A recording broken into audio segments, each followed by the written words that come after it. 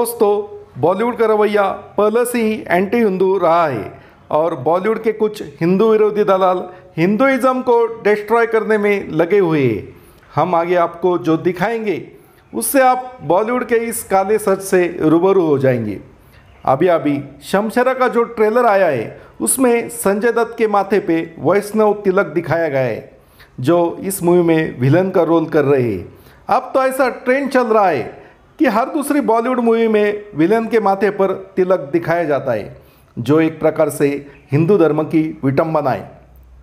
Amar Akbar Anthony, वैसे तो सबको एक सेकुलर मूवी लगती है, लेकिन इस मूवी में भी अमिताभ बच्चन और ऋषि कपूर को बड़ा धार्मिक दिखाया गया है।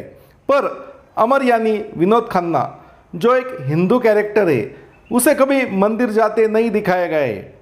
बॉलीवुड में जब भी कोई ईमानदार गरीब कैरेक्टर दिखाना होता है, तब शोले में जैसे ए के अंगल को दिखाया गया है, वैसे कैरेक्टर्स दिखाए जाते हैं।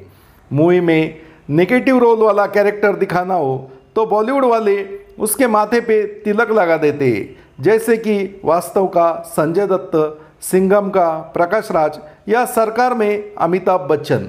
इतना ही नहीं, भ्रष्टाचारी बनिया नेता या ठाकुर दिखाना हो तो उसके माथे पे भी तिलक लगा देते हैं। यही बॉलीवुड वाले अक्सर क्रिश्चन या मुस्लिम कैरेक्टर्स जैसे फादर या मौलवी को हॉनेस्ट हेल्पफुल दिखाते नज़र आते हैं। मुस्लिम कैरेक्टर को अक्सर पैट्रियोटिक एंड विक्टिमाइड दिखाया जाता है।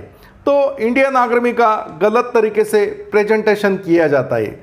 पीके मूवी में हिंदू देवताओं की काफ़ी विटंबना की गई थी। तो दूसरी तरफ़ पाकिस्तानी पीपल्स को काफ़ी अच्छा दिखाया गया था।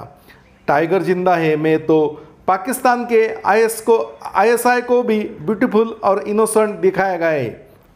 वही दूसरी ओर मैं हूँ ना में तो सुनील शेट्टी के कैरेक्टर को हिंदू टेररिस्ट दिखाया गया है। बॉलीवुड ने अब इतनी हद पार कर दी है कि वो अपने मूवीज़ के नाम सेक्सी दुर्गा, सेक्सी राधा या लक्ष्मीबाई लक्ष्मी बॉम ऐसे देवताओं के नाम पर रखने लगे हैं बॉलीवुड की परझानिया देव और फिराक जैसे मूवीज़ तो ऐसा दिखाती है कि बहुसंख्य हिंदू बेचारे मुस्लिमों पर बेवजह ही अत्याचार ढा रहे हैं।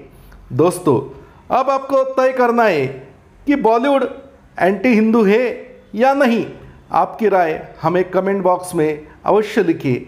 और अगर आपको आज का ये वीडियो अच्छा लगा हो तो चैनल को सब्सक्राइब करके बेल बटन ज़रूर दबाइए। जय हिंद।